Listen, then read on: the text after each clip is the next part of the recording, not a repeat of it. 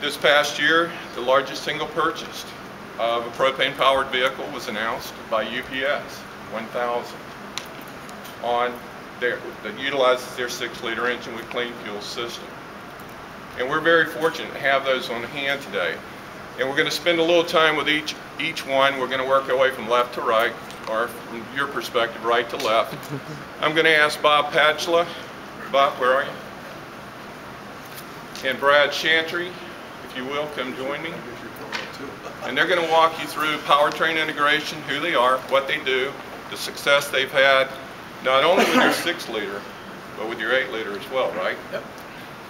Okay, as uh, Michael said, my name is Bob Patchlaw with Powertrain Integration. Uh, I didn't know you were uh, 22 years in the industry. You said you're way too young for that, so. Uh, I've been in the industry, the alternate fuel industry for 31 years this month.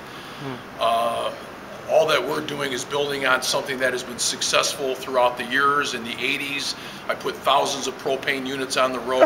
In the 90s, I put thousands of propane units on the road. In 2000, thousands of units on the road. So we didn't do anything much different now. Um, as Michael said, we are doing the 8 uh, liter, which is a brand new engine. We were working with General Motors on a 8.1 liter, which went out of production left a big gap in the marketplace, and we worked with General Motors to develop a new engine, which is an 8-liter. It was just released into production in June of this year, uh, and that is going into the Freightliner S2G. It is going into the Thomas Bus school bus, and Freightliner just announced at uh, BusCon a few months back uh, that they're going to be putting that into a shuttle bus, and their chassis actually won Best in Show at BusCon in Indianapolis this year. So we're very proud to be part of that. Um, as Michael said, uh, UPS, that's, uh, in my opinion, probably the most watched managed fleet in the, in the world. And they look at every way to send us, uh, save a penny. And we were working with them on, on uh, an array of alternate fuels. And when they really took and studied LPG auto gas, uh, typically, what they'll do is put units into a fleet and test it 20, 30, 50, 100 units, and you'll hear from them two or three years later. Well, in this case, we put the fleet in production 20 units the fall of last year, and at, at NTA this year, they made the announcement to build a thousand uh, UPS step vans. And I'm going to ask Brad, we're what, finishing up like 900 or so right now? We're over 900 though. So over 900, and that's been just a great successful program. So um, we look forward to our relationship with Freightliner as a good quality uh, manufacturer of product.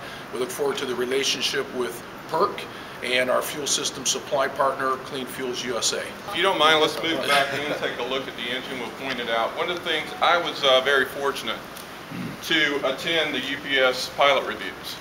And if you know anything about UPS, as Bob said, they have every alternative fuel you can imagine in their fleet. So they have data. And the things that came out of those pilot reviews, number one, it was the easiest alternative fuel they've ever transitioned into their fleet. Number two, it was the easiest installation of infrastructure of any alternative fuel. Number three, there was there were no buildings modified, no new buildings constructed to handle maintenance and repairs.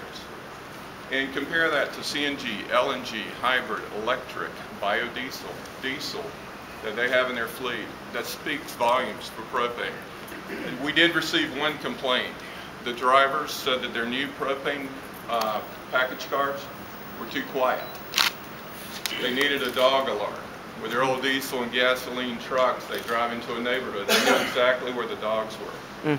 With the new propane units, this is no joke. We're also hearing this type of uh, compliment, if you will, on school transportation where safety is paramount. Um, you can actually hear what's going on inside the compartment, and that's extremely important on a school bus or a package car with UPS, as well as outside, whether it be a bus, a truck, someone trying to, to enter the vehicle. It creates a very safe environment, and folks are just beginning to appreciate that. They didn't realize how noisy diesels really were. So, I love to talk about UPS, and I think they typify, hopefully, the fleet of the future in that they don't have one fuel with one solution. You'll see that, for example, in their on-the-road tractors, they're choosing LNG or CNG. In some of their package cars, as you correctly say, but a very few, perhaps the large cars that are in and around big urban areas like Manhattan, there will be some electric. Uh, They'll certainly continue to use some gasoline, but by and large, a lot of the vehicles in that middle segment where payload and range are critical to them and where infrastructure has been a problem for them, they're choosing propane. And, you know, I think if we fast forward and we guess that you'll see of the 25,000 vehicles they run every day, I bet the simple majority of those will be propane.